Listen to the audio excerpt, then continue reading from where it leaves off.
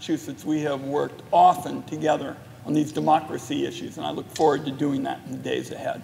I also want to commend uh, Senator Klobuchar from Minnesota because she has been our point person on the Rules Committee, which is central to this whole debate. I think we all understand what's at stake. That's what my colleagues have been outlining. And I think we have been very fortunate to have Senator Klobuchar at the helm. And she and I have worked together on one of the issues I'm going to talk about, vote by mail.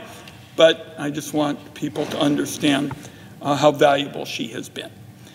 Mr. President and colleagues, a year ago today, not far from where we stand this afternoon, domestic terrorists tried to beat our democracy to the ground. They might have been successful were it not for the police officers who defended our democracy as they were viciously attacked and beaten. Before anything else is said, in my view, by an elected official, we need to salute these officers and all those who work day in and day out alongside them here in the Capitol. For their courage, we ought to be eternally grateful. The insurrection on January 6th was instigated by the former president who wanted to undo the results of a democratic election. Let's also understand that unfortunately, inciting the mob wasn't the end of it. Donald Trump didn't exactly walk quietly off into the sunset after the Biden inauguration. The effort to undermine our democracy, to end free and fair elections in America, goes on as we speak. Support for the big lie is essentially unchanged from where it was a year ago. And an awful lot of Republicans who said after January 6th that they were done with the former president have cozied back up to him just 12 months later. The only reason the mob is not here today is Donald Trump didn't summon them back. Now, in my view, it's our job to ensure that another attack like this, or by any other means, never succeeds. And we'll have more to say about those issues in the days ahead. In my view, protecting the vote has got to be step one in protecting democracy. A guiding principle for the Senate must be that while politics may guide a citizen's vote, it should never determine whether they are allowed to vote. To act otherwise would undermine the very foundations of a representative democracy. Empowering voters with a system built on integrity and accountability a system that promotes participation rather than discourages it, a system with a real history of bipartisanship. Mr. President and colleagues, that's the kind we have in my home state of Oregon. Oregon believes so strongly in the right to vote that everybody gets a ballot sent straight to their home. Mr. President, I'm honored to say that I was the first United States Senator elected in an all vote by mail election. Back then, it was Oregon Republicans who were pushing to expand vote by mail. A Democratic governor even vetoed a vote by mail bill in 1995. Right after my election, the Oregon Republicans flipped back and vote by mail was suddenly, oh, so bad. Now, everything flipped a few months later when my friend, Gordon Smith, a Republican from Eastern Oregon, became the second United States Senator to be elected by mail. At this point, Oregon voters said, We've just had it with everybody looking for some kind of partisan slant here. We just think vote by mail is a really terrific idea. And they went out to vote at a ballot measure, and they chose to make Oregon's elections all vote by mail, passing it with 70% of the vote in 1998. This, in my view, is the culmination of a process that started 40 years ago with some local elections in Linn County, a small county in the western part of our state. It grew and grew from there. Elected official, election officials learned that when you let people vote at home, participation goes up and the costs go down. One of the biggest defenders of Oregon's vote at home system was the late Dennis Richardson. He was our Secretary of State, and by his characterization, he was about as conservative, about as conservative a Republican as you could get. But when the Trump era came along and people criticized our elections and said, oh, there's all this fraud, they were just spouting lies about it. Dennis Richardson, the late Dennis Richardson, stood up and said, I'm a conservative Republican.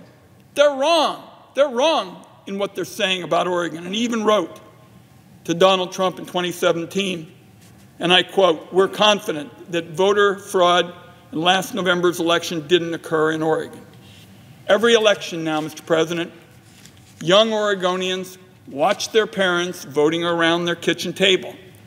And it's a real inspiration to the next generation to make sure they're committed voters. Voting at home gives you the opportunity to be more informed. If there is a particular measure, an initiative, or a race that you haven't researched, you get time to look into the options. When you're done, your ballot goes into a security envelope, you sign the outside, and off it goes. For me, that's when I head from our home in southeast Portland, the Sellwood branch of the Multnomah County Public Library, drop my ballot in the collection box, and head home.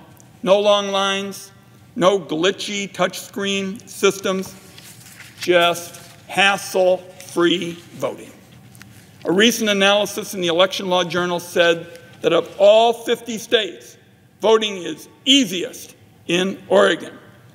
And Senator Klobuchar, I've heard colleagues go back and forth to say who's number one and participation and who's number one and all of these aspects. And um, I think, like a number of other states, we're all kind of competing for the highest turnout rates. We get some of the highest in the country. Uh, we've been a leader in terms of increasing turnout among black and Latino voters. Voter registration is automatic. It's like as easy as a trip to the Department of Motor Vehicles. For myself, and Senator Klobuchar and I have talked about this so often over the years, I have been proposing legislation to have universal at home voting since 2002. That's what my Vote at Home Act would do. It would give every American the right to vote the Oregon way, the vote that my neighbors and I can do. I will say here on the Senate floor, I guarantee that you do it the Oregon way, it will be a nationwide hit immediately.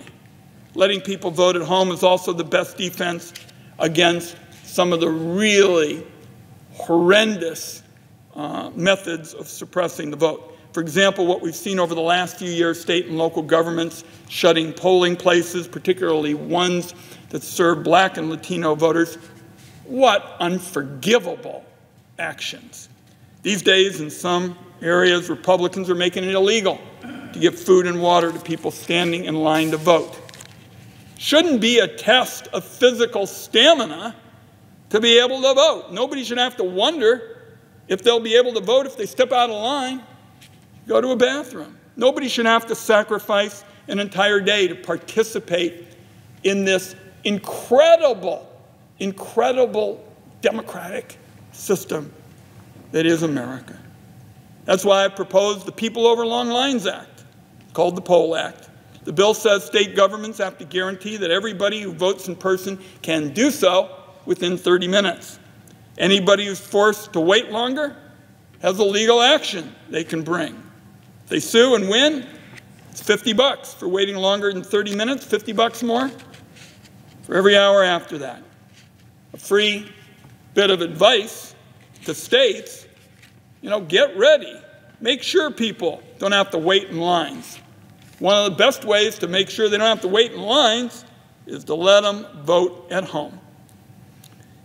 It's not just Oregon, by the way, that votes by mail, and I think Senator Klobuchar, we heard some of our colleagues talk about their states and, and voting uh, by mail. If you need another example, let's think about the United States Armed Forces. Most service members and their families vote by mail in every election. All of the people who wear the uniform in the United States can vote by mail. Every federal election, been that way for decades. So, the bottom line is that we think it's time to get the Oregon system into every nook and cranny in America. We feel that way because it works. Raises voter participation, lowers the cost of running elections, helps voters be more informed, safe and secure. And if you're resisting safe and efficient elections with higher voter turnout, then you're suppressing democracy in America. My home state of Oregon shows the way to preserve America. Mr. President, I'm going to close my remarks. I think we'll, we'll have Senator Klobuchar um, speak for all of us here in a moment. But in my closing, I want to touch just for a moment on my family that I'm so proud of. My German family fled their homeland, place where they were deeply rooted in that nation's society, as my grandfather was a member of parliament and served on the Berlin City Council. My family was forced as Jews to flee the fascists who had taken over their democracy. They fled to America as the last remaining beacon of freedom. With that freedom, my dad chose to serve in our army that fought fought against German fascism. And my dad's been recognized for his unique contributions. We were so thrilled, for example, uh, to have the senators from Maryland talk about the Ritchie boys. My dad was one of the Ritchie boys, a German kid who taught himself English so he could be out there fighting the Nazis. And I remember the good work of the senators from Maryland and how thrilled our family was about that. So my dad was about the greatest patriot around. Felt he was so lucky to be an American, to be in our army, to stand up for American values. And my final remark here today, Mr. President, is about my dad. If my dad was alive today, he would tell us Senators, make sure that the light in America's beacon of freedom never goes out. Mr. President, with that, I yield the floor.